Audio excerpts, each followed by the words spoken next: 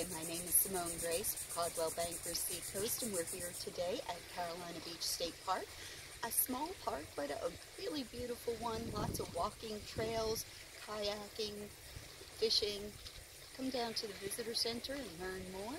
This is part of a 100 mile radius where uh, Venus flytraps grow wild, so come check it out. Um, that's our commitment to living local.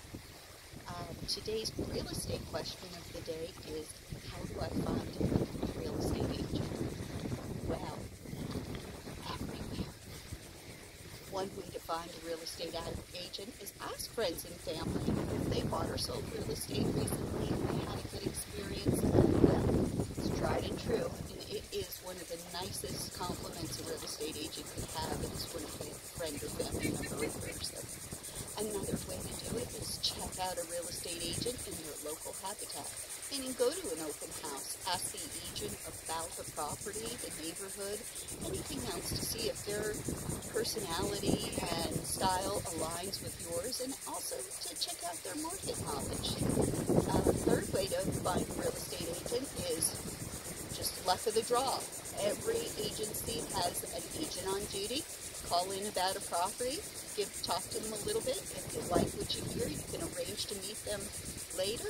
There's no obligation to talk to them. And um, sometimes that's kind of a fun way to do it too. And thirdly, I almost always have my badge on. If you see an agent in line at the grocery store or maybe you're waiting for your food pickup order, chit chat a bit. See if you connect. If you connect, great, you're on your way she said there's no right way or wrong way to pick an agent. Just find someone who has the market knowledge and the personality that you'll be working a lot together, so you really want one who, whose personality aligns with yours. I'll be posting more videos about real estate, buying, selling, agents. Check me out on Facebook as Simone Grace and also